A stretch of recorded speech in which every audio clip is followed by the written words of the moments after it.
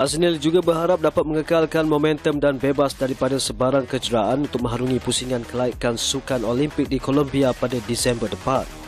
Fokus saya pas ni coach untuk qualify Olimpik di Colombia bulan 12. So kami akan buat pressure lah sebab saya nak cuba dapatkan sekurang-kurangnya medal lah di Olimpik. Saya akan buat yang terbaik lah. Itu impian awak. Ya, itu impian saya. Terdahulu Arsenal berjaya mempertahankan pingat emas dimenanginya 4 tahun lalu selepas melakukan angkatan bebanan keseluruhan 285 kg sekaligus mencatat rekod baru Temasya.